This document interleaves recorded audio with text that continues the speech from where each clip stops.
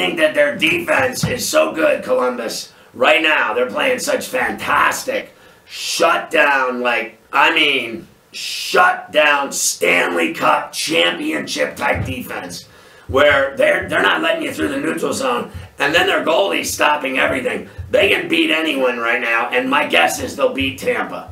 Right now, I'll say I think they'll beat them based on the defense I'm seeing. Like Tampa's not even getting a shot.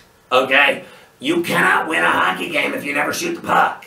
Okay, so the highest scoring team in history, they can't even get a shot off. Game over. They're gonna lose. Mafia, they're gonna lose the series. There's no way you lose your first two games at home and then what, win four straight? It's not happening. Not against a team that is shutting you down defensively. They're not getting lucky. They're kicking your ass and shutting you down.